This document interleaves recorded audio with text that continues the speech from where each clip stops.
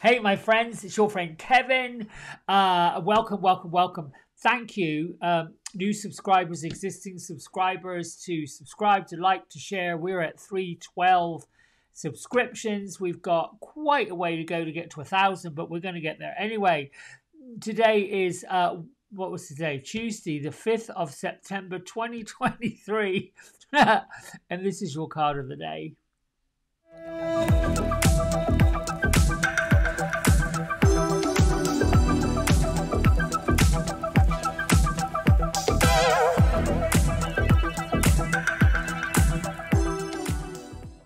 All right, so uh, here we go. We are using um, the Archangel Michael Sword of Light Oracle deck by Radleigh Valentine um, with illustrations by Echo Chernik. And then we have got our um, Archangel of the Week, which is Archangel Michael, and the number 21 from Archangel Power Tarot cards. The world is basically saying the world is your oyster. You've completed a great, you've come to the end of a great cycle. And it is time to move on to something new, to start again, to start afresh, to let go of anything that was holding you back. If you're sitting in the past and you feel like there's some things that you have undone, you have to let that go. You've got to replace your space, the future, what's coming next. Don't let the past distract you from the brilliance of the future because you've worked hard.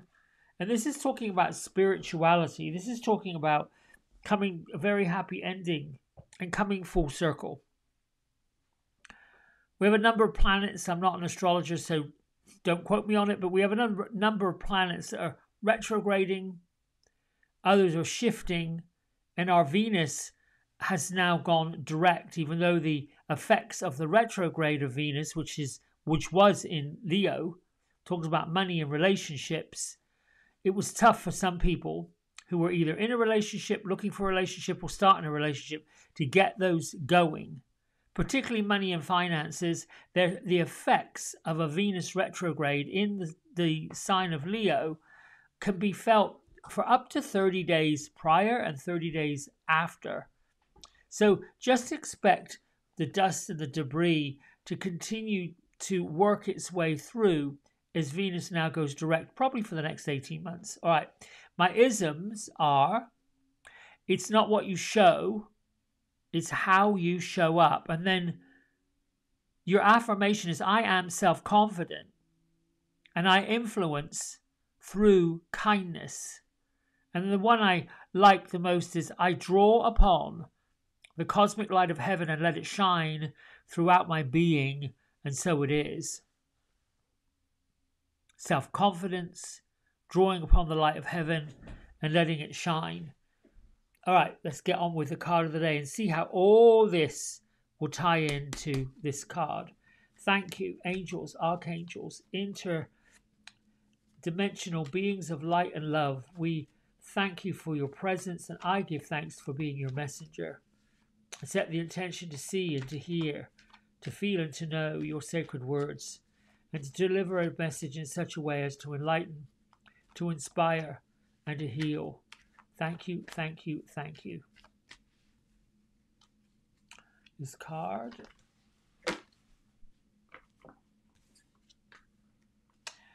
Deeper insights are at hand. You might have found yourself, as I have, being rather melancholy, being somewhat in a daze, feeling somewhat not quite sure which end is up, what's happening next, what's around the corner, changing the way you thought, changing the way you feel, and certainly changing your beliefs. But the message here is a number eight deeper insights are at hand, and we've got Archangel Michael telling us to look towards the future and to use our gifts and our strength and our creativity and celebrate all of those powers to move us forward. The overall plan, according to this card, is a good one. But the details of that plan need a little more work. Reflect before moving on to something new. And I like the way that this plays out. Here's why. To change how things are going to show up for you. For you to be the light of love, the light of God, the light, the grace, all of those things that the universe has put you here to do. There's going to be many, many times where we have to reflect, not so much dig into the past, but reflect on the, the qualities that we bring. And there are many who, throughout a lifetime, if you think about it, five and six years old, you're learning what school is all about. Moving fast forward to a preteen, you're learning what the physical body is all about attraction, rejection.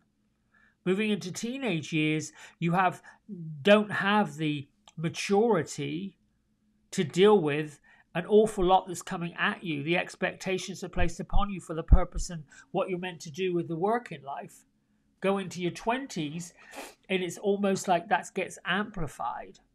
Moving into your 30s is a different area of study and purpose, and on it goes. For each decade, each seven to 10 years of a lifespan, there will be many of these times where we sit and we look at the journey we've come on and wonder how does this play into the journey that's next and there are a few times where that purpose those values and that journey takes a turn a detour i would say for right now it's a major turn and a major detour not just for you and i but our local communities our countries our nations the entire planet. You can look at it as, I don't know what's next and be fearful of it, or you can look at that, I really don't know what's next and be amazed by it, or you can look at it at, I have no clue what's next and I'm excited to learn more about it. Those are windows that we look through. And depending on the window or the perception or the viewpoint that we look through, it's going to depend on what we are going to attract. All your thoughts, all your feelings, all of your energy, vibrational energy, is what will attract anything and everything you put your mind to and you focus on. Law of Attraction 101. I myself have decided, well, I think that there are a, a, number of other spiritual laws. I seem to remember Deepak Chopra Chopra wrote a book about the seven spiritual laws. I want to study them a bit more and see where they play out just for the heck of it. Um, so when you're looking at these cards, focusing on it's not what you show, it's how you show up. So if you're unclear about what your purpose is, then you show up inwardly and say, Archangel Michael, please guide me forward use the archangels to help me figure out my purpose, to help me shine a light, to be the bright light that heaven has put me here to do. And then know that your self confidence and your influence comes through being kind to other people. Perhaps today, we're talking about today because tomorrow there'll be another video. Perhaps today you look at every single situation, every single person, every single opportunity with kindness. How can I be kind here? How can I be kind there? How can I be kind, kind, kind, kind, kind? Say, thank you, angels, for letting me work through my day with utter kindness. That's it. That's simple. A prayer of gratitude. Thank you, angels and spirit guides. If you're not necessarily into angels, you're not necessarily into archangels. I wasn't sure about them three years ago. I was not clear about, well, how are they showing up in my life and are they showing up at all? And then through working with Kyle Gray Hay House and now Radleigh Valentine, becoming students of these fine gentlemen, I realized, wow, there is a whole realm out there, and I'm learning more and more and more about them. And the more I learn about them, the more that gets revealed to me. Um, and I, am three years ago, which is not very long, I was a little clueless, still a little bit clueless. But then when I read other people's accounts of their experiences with the angels and the archangels, it's all very similar. So I am, oh, well, this is something I already knew. This is the insight I already had. And I was sharing with a friend recently, it isn't that we are awakening, well, maybe there's that word, enlightening. These are all words, they're all labels. What it is, is we're uncovering. Uncovering. Imagine those archaeologists that dig into the dirt and they painstakingly remove the dust and the debris from the top of ancient artifacts up underneath the dirt. Well, that's what we're doing.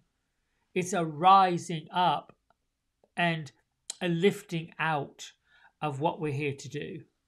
And it sort of comes gradually. Can you imagine if it all got revealed at once? Oh my goodness, we wouldn't know which way to turn. I wouldn't. I don't know about you. sounds exciting, but then it also sounds overwhelming. All right. They're telling me wrap it up. Maybe today you just think about how do I be kind to myself and how can I be use that kindness I bring to myself to let it ripple on out because it all starts with us. I also believe when you're kind to other people, it goes to this, not how you show. What you show is how you show up. When you're kind to other people, kind people come to you.